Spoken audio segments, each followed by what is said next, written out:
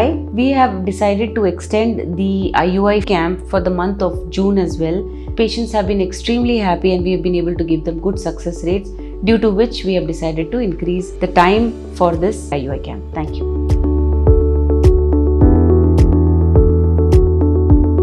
Hi, I'm Dr. Suvarchala, Scientific Director with Ziva Fertility Centers. What are the normal levels of HCG which are expected at pregnancy? Well, before we talk about what uh, the normal levels are, let's try to understand what HCG is. HCG is human chorionic gonadotrophin hormone, which is released by the embryo, which is dividing rapidly from 2 cells to 8 cells to 16 cells to a blastocyst and becoming human, an individual. It is released by the embryo and then later it, it is taken over by the placenta and it becomes an uh, entirely viable fetus. Now, this is how HCG is released in the body. How do we get to know? We do blood tests and we can see the level of HCG in your body. Uh, how do we know if it's a viable pregnancy from HCG? Well, it's basically based on the doubling of HCG. If the HCG is doubling every two days, then it is known as a viable pregnancy. However, remember, if it is doubling every two days, it could be a viable pregnancy, and if it is not doubling every two days, then it could be a non-viable pregnancy. But should it be doubling? Well, yes, if it is a hundred percent increase in the HCG levels after two days,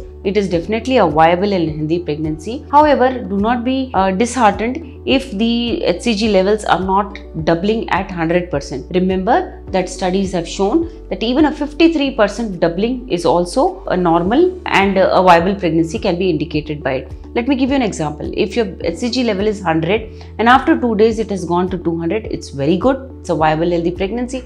But after 2 days if it has become 153, also it is a very good viable pregnancy and there is a good chance of live healthy baby from this beta HCG level. Let's look at the healthy levels of HCG. After one day if you repeat it then it should be a minimum of 24% increase. If you remove if you repeat it after 2 days like I said it should be 53% increase. After 3 days it should be 88 after 4 days 133 and after 7 days it should be a 338 percent increase in beta HCG levels. So this is a minimum that I'm talking about. If it is anything below this, then it could be an unhealthy or a non-viable pregnancy. But a minimum of this indicates that it's a viable pregnancy. If you want to understand more, if you've had miscarriages, get more information about HCG, please feel free to contact us. A lot of effort has gone into making this video. Please like and subscribe us. Thank you.